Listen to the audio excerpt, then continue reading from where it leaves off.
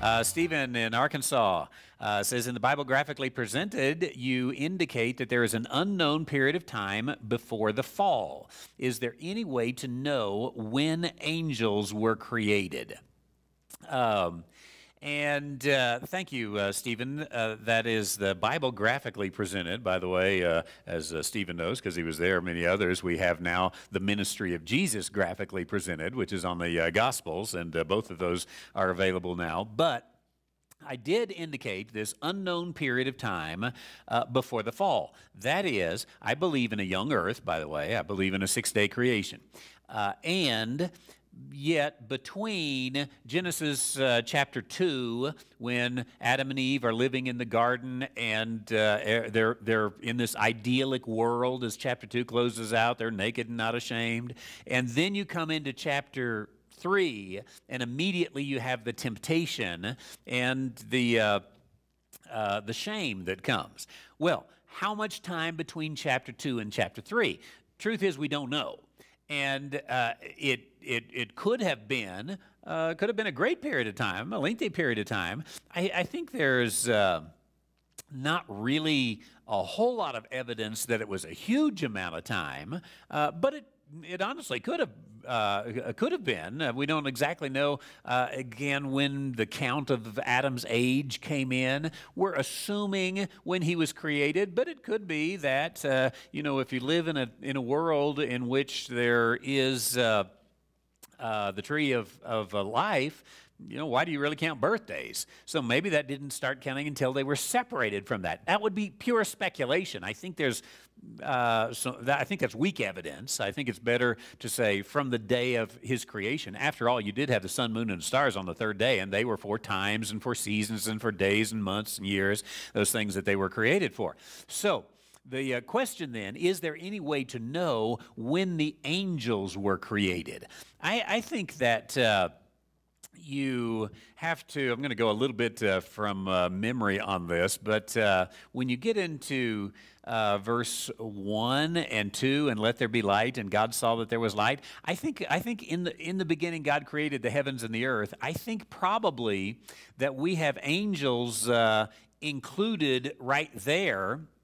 And the reason I say that is because, at least by the third day, uh, when God, I believe it was the third day, wasn't it? When God uh, put the sun and the moon and the stars uh, in the sky.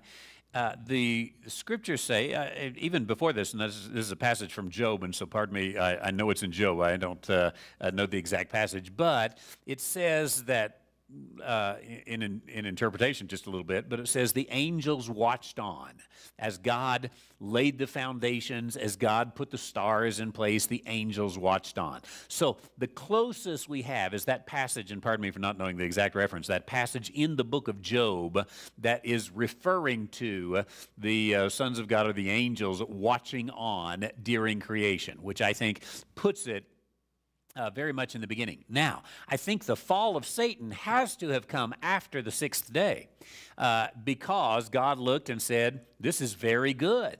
And I don't think a creation in which you've got Satan cast down to earth and sneaking around on the earth, God would say, This is very good. This is uh, one of the areas where I disagree with uh, my buddy Scofield right here. I take a Scofield Bible, and uh, he takes a gap theory, which uh, I might just say in passing, someday we'll look, dig into Scofield's gap theory it sounds like pure eisegesis. When you read uh, Scofield and those who, uh, who put some intellectual muscle into that gap theory, they've got more evidence than it seems uh, on the surface. But I still uh, don't agree with or accept that gap theory. And I think that's one of the issues, as God says, this is very good. So uh, I think uh, really prior to let there be light, you've got angels. They're all messengers of God. They're all working on his behalf. There's no fallen angel yet. So, somewhere between chapters 2 and chapter 3, I think, is where you have the fall of Lucifer, and Lucifer comes in. I don't think he's just been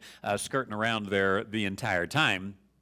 Uh, as uh, as as we uh, we have that. Uh, and uh, Gary does mention, uh, you know, Genesis chapter one verse twenty six. Uh, God said, "Let us make man in our image, after our likeness." so you know, the the the use of the plural there is that a reference to the angels? and what we see of angels anyway seems that they're made in the same physical image as we are. that's why you can visit with angels unaware.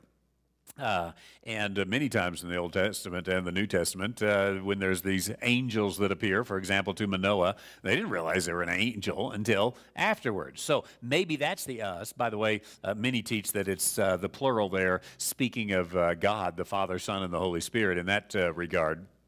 So it could be that way. Excellent question there.